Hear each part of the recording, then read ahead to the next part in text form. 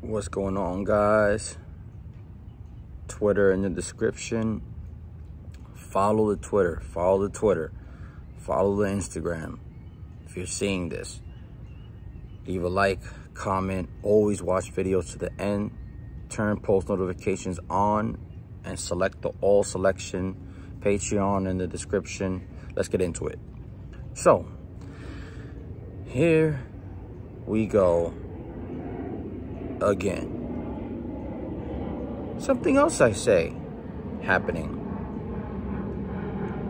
Let's get into it. And now, guess what? The International Monetary Fund basically saying that we are on the verge and at the point of a string a string of global debt defaults. Sovereign debt defaults. A string, a string of global sovereign debt defaults. Let's get into it.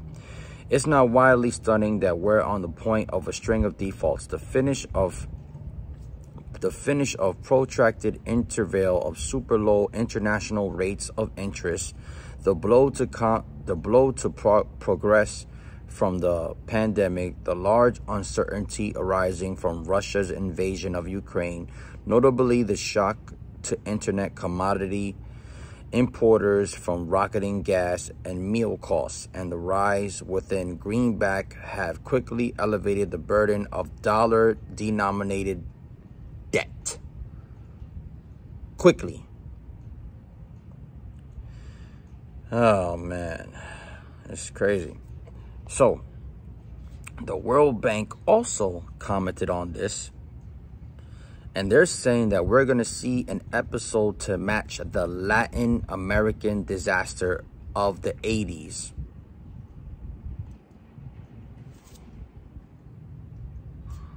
Okay?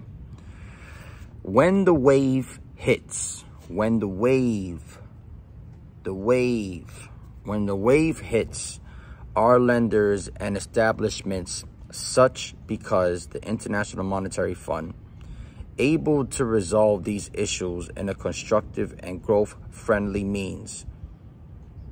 You would possibly suppose that after a long time. Okay? You would have reckoned without the shifting nature of worldwide capital flows and the disorganization, disorganization of collectors. And this time there's an enormous new issue within the form of China. There have been a number of makes an attempt to regularize, regularize sovereign restructuring, sovereign restructuring. Okay? So, what do you think is going to happen when the global debt gets out of control? They're going to just have to pay back all the whole global debt. And the only way they're going to do that, we know how. Well, thanks for listening. Thanks for watching. Peace out. Love you guys.